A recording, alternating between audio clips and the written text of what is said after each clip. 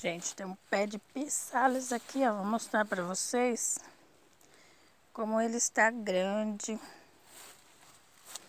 Olha como ele está grande, cheio de frutinhas. Bastante frutinha no pé. Tem uma madura aqui. Vou mostrar pra vocês como é essa frutinha por dentro. Gente, isso aqui é vendido caro no mercado. Muito caro mesmo. Tem gente que usa para decorar bolo, né? Cupcake. Bem gostosa, bem azedinha. Uma delícia. Então eu tenho um pé aqui. Aqui nasce bem. Tá bastante frutinha. Olha quantas frutinhas tem por dentro aqui. Tem mais madura aqui, ó. Outra aqui. Essas aqui estão maduras. Essa daqui também.